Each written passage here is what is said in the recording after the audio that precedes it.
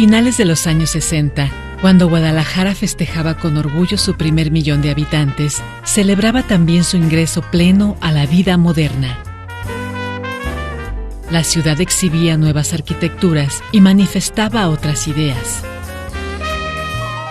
Al tiempo que ensanchaba las avenidas para dar paso a los automóviles, ampliaba sus horizontes, participaba del entusiasmo juvenil compartido por otros lugares del mundo. Es en este ambiente donde se gesta un movimiento que abrió nuevos caminos a la expresión musical.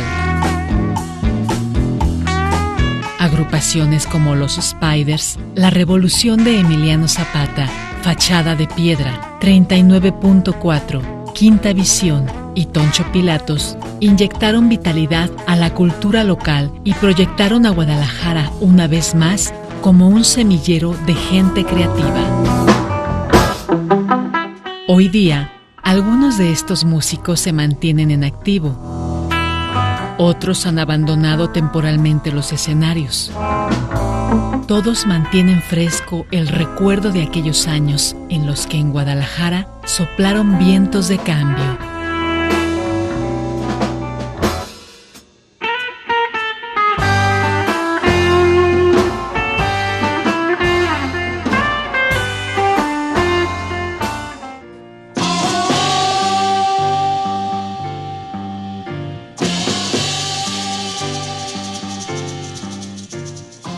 José Antonio Pérez Luna, mejor conocido como el Jombin, es un maestro de primaria del barrio de Tetlán, al oriente de Guadalajara.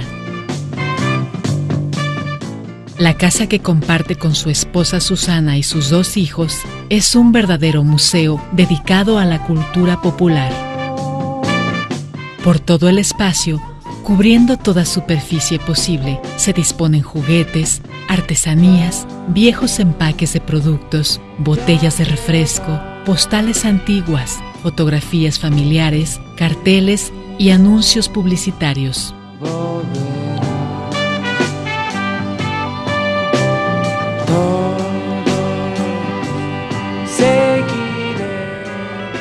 Pero lo que más abunda en este hogar de rockeros de corazón es la música. Desde la adolescencia, el Jombin ha ido conformando una de las colecciones de rock mexicano más importantes del país. Miles de acetatos, cintas y discos compactos ordenados de manera armónica y clasificados con precisión resguardan la memoria musical mexicana de las últimas décadas.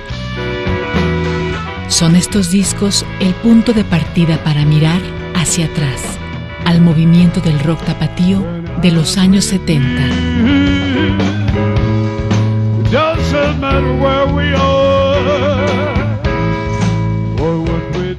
El ambiente en Guadalajara de los 70 era muy grato, era, se sentía la vibra, había muy buena vibra en Guadalajara.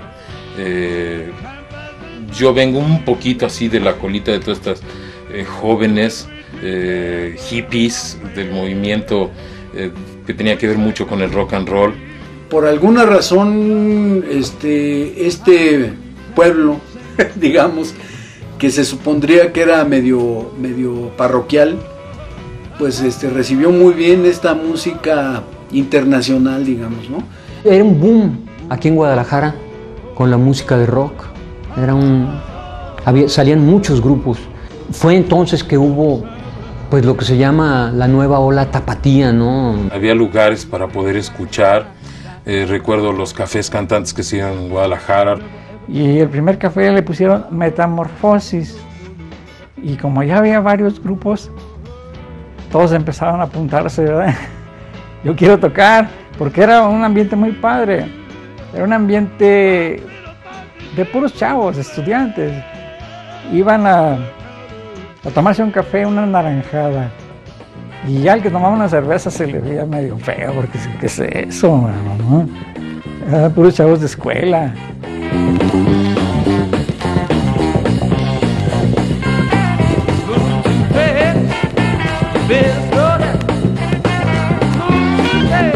Había fiestas en cualquier lugar y siempre estaba por ahí eh, un disco de rock.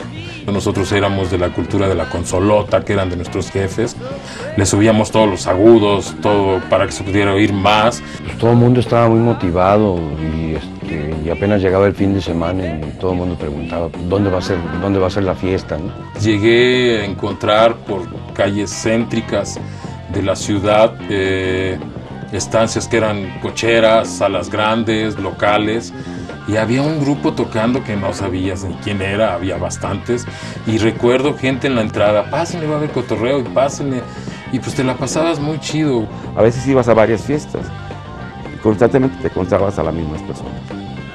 Era como un gran club. Y todo el mundo apoyaba a la música. Yo recuerdo momentos muy gratos que ibas a la escuela, ya sea la secundaria o ibas al centro y veías los cartelones anunciando ya una tocada con grupos que venían de fuera o grupos locales y lo veías el martes y el miércoles y te duraba la emoción para hasta el fin de semana. Era muy rico Guadalajara, era muy padre y era muy de la onda Guadalajara. Guadalajara era de la onda, ¿no? Sí, sí lo notabas, ¿no? Y sí sentías lo que era la capital del rock. And I'm feeling glad because I have you around. I don't have to look for anything, there's nothing to be found.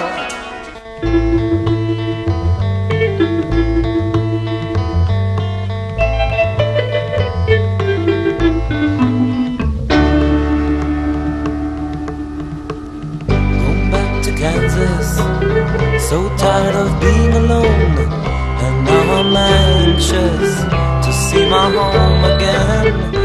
En Guadalajara había pocos grupos. En aquel tiempo, te estoy hablando del año 1960, que es cuando empezamos, nos juntábamos, la, palomilla que nos juntábamos a jugar béisbol, trompo, según la estación del tiempo que, nos tocara, era que mm, nos juntamos, pues que hay que tocar. Veíamos grupos en la televisión, en aquel tiempo salían los locos del ritmo, los Tip Tops, los, rebeldes del rock. Y de aquí de Guadalajara, los Gibson Boys. Mickey Laure tocaba rock. Después se hizo famoso tocando cumbia, ¿no? Pero él tocaba rock. Y entonces nos juntábamos ahí en el parque o en casa de, de, alguno de nuestros amigos a, a guitarrear y a tocar. En realidad no sabíamos tocar.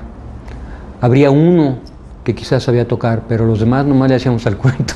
Como todos éramos estudiantes, pues no todos tenían la facilidad del tiempo y la facilidad de que sus papás les permitieran andar en esos rollos, ¿verdad? Porque, óyeme, que estás perdiendo el tiempo.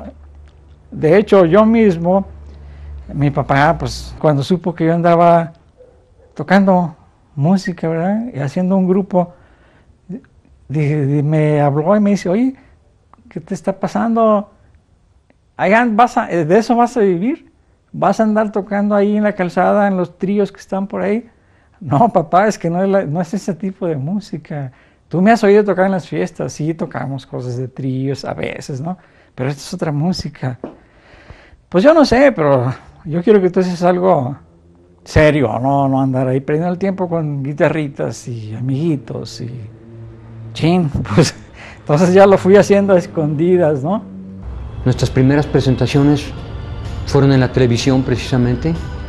Y luego de ahí nos ofrecieron en algún lugar de baile del centro de Guadalajara, estoy hablando de los años 61, 62. Y de repente ya estábamos tocando y ya empezaban a sonar los Spiders, ¿no? Así fue como empezamos.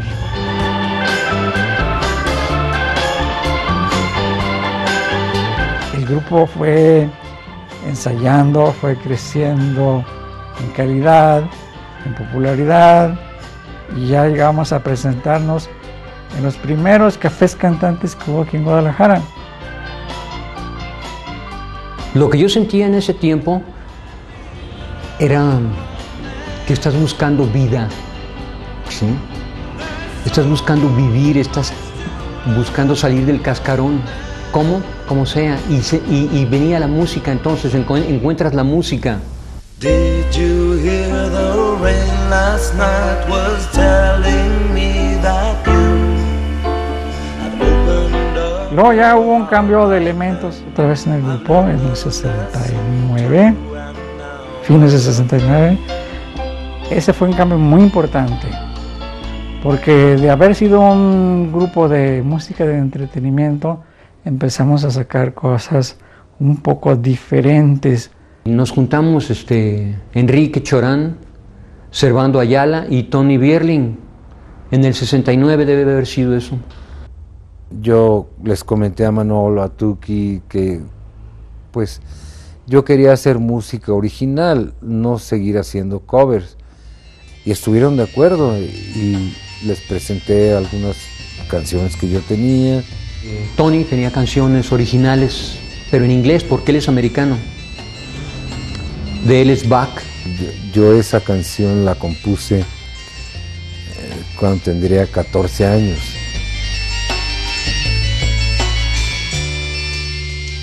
The time has come for me to say goodbye and so I've lived too long to see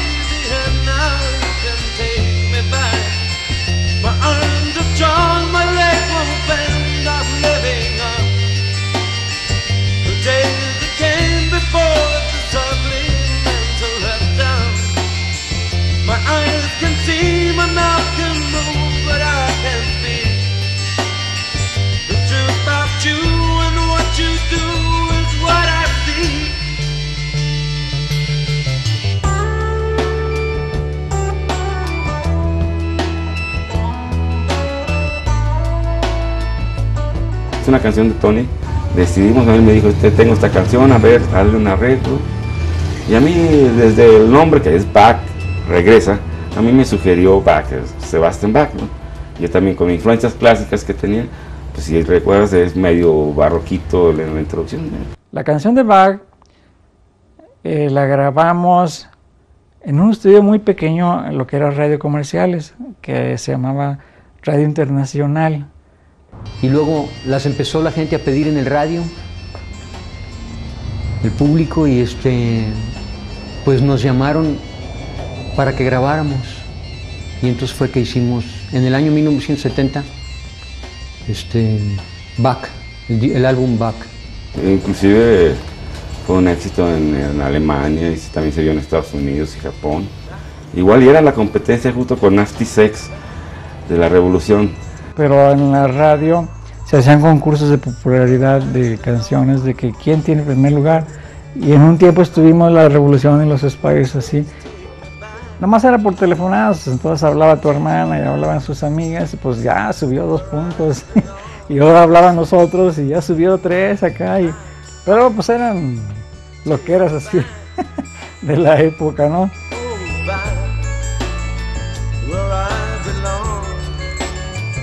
Creo, si no estoy errado eh, o equivocado, que sí fuimos de los primeros que grabaron composiciones en inglés originales como grupo mexicano.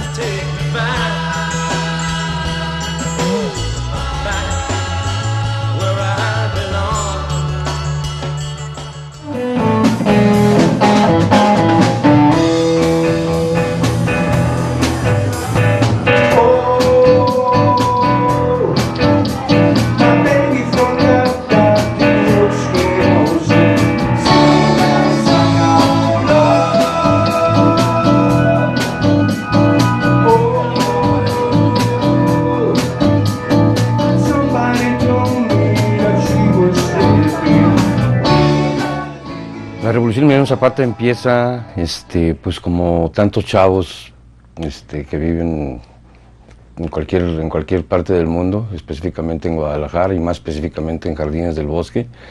Este, pues como todos con, con un sueño así de tener algún día algún grupo, rentábamos equipo, llegabas al, este, llegabas a la hora de tocar, rentabas el equipo, llegabas con el guitarrazo y se oía puro "Bah", nada más. Nosotros éramos, pues más que todo éramos como fans de los Spiders. Eh, alguna vez este, les, pedimos a ellos que si podían tocar para nosotros gratis. Organizamos un concierto en donde ellos, donde ellos jalaron con nosotros gratis para comprar equipo. Y Nasty Sex pues nace así. Este, yo tenía un amigo que, hablaba inglés, yo, no hablaba nada. Entonces él me ayudó con la letra, Antonio Williams. Él me ayudó con la letra y, este, y así fue como se hizo. Pues era... Pues no sabíamos, o sea, en realidad no sabíamos mucho música ni nada, ¿me entiendes? O sea, era empírico totalmente, entonces, pero funcionó.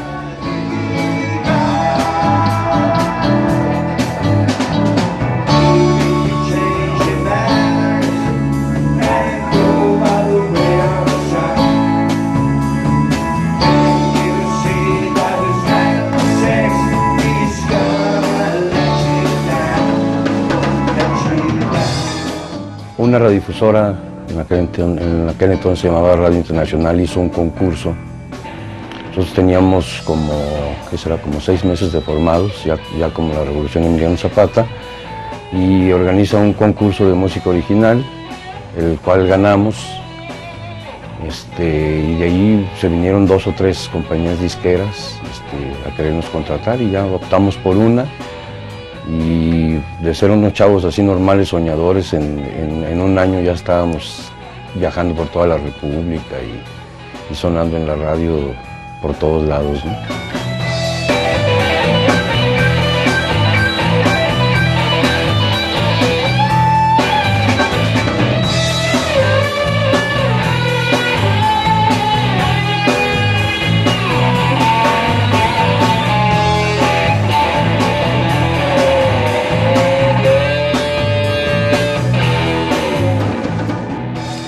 Ganador de Radio Internacional, la pieza de Nasty Sex, repito, un disco muy cuidado, muy, muy buen disco. Nasty Sex estaba en primer lugar y otra que teníamos que era instrumental que se llamaba Ciudad Perdida estaba en segundo lugar. Entonces, este, así del hit para ahí. Entonces, dos, dos temas en, en, en- en primero y segundo lugar, pues no la creíamos nosotros. ¿no?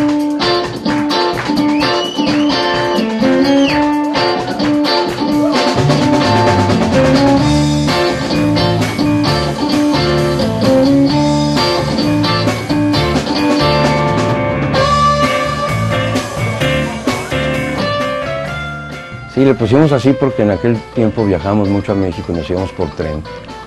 Y, este, y llegando a la Ciudad de México por tren, veías todas las ciudades perdidas y este, todas las casitas de cartón y todo eso que, pues que no se ve en una entrada normal a la Ciudad de México. Entonces eso siempre nos, este, nos conmovió mucho, entonces por eso le pusimos Ciudad Perdida, ¿no? Czech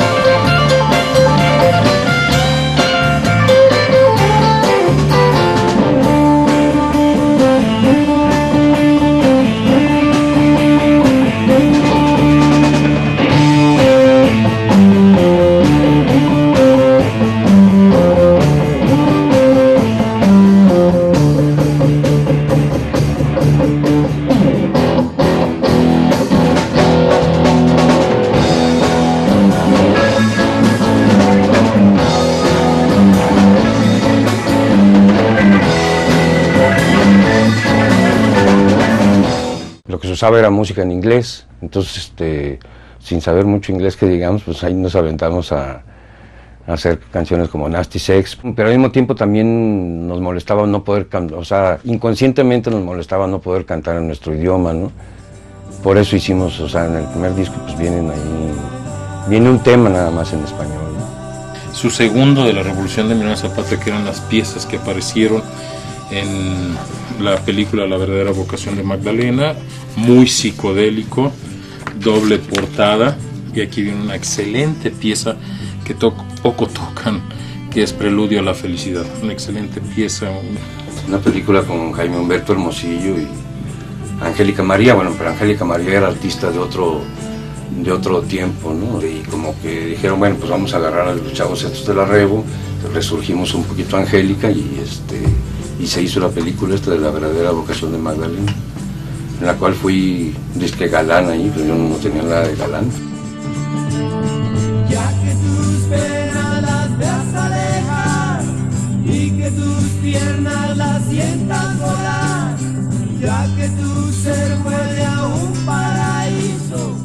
Éramos chavos honestos, pues, o sea, eh, lo que hacíamos lo hacíamos pone tú, sin no mucha sabiduría musical, pero lo hacemos de corazón.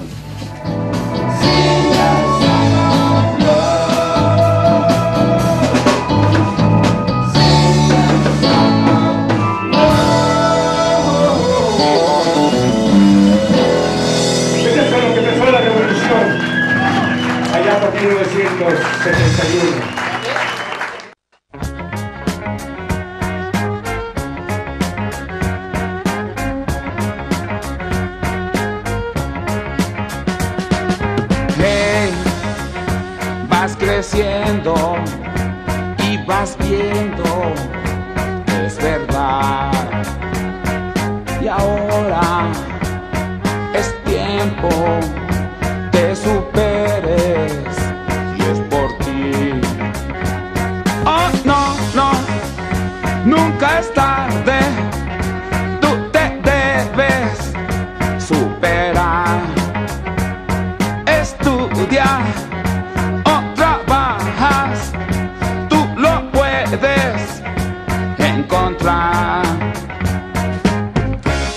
que brincar, saltar, un chipote saltarín, tú lo puedes encontrar.